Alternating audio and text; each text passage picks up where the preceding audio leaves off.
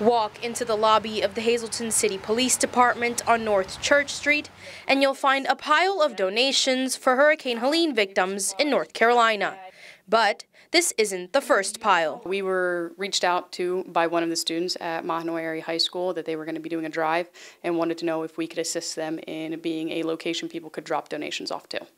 The police department started collecting donations early Friday and had a van full of supplies by morning's end. Public Information Officer Jessica Sirkin says with the help of the community, they have already sent truckloads full of supplies down south. We came in Monday and our lobby was full, so we took a whole entire cargo van load down to the school.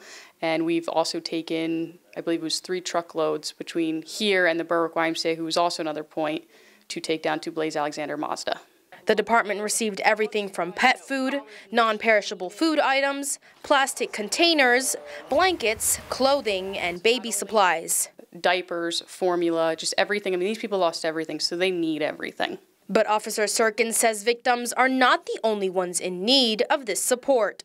Volunteers who are on site helping in North Carolina need the essentials as well. So those volunteers who are out on the front lines, um, there's several companies out there who are, you know, taking mules up into the mountain with backpacks full of supplies for people who can't get down off of that mountain right now. And that's the only way it's accessible is by horseback or, you know, rock crawl or something like that. They also need stuff to be able to sustain themselves while they're going out there and looking for those, those victims.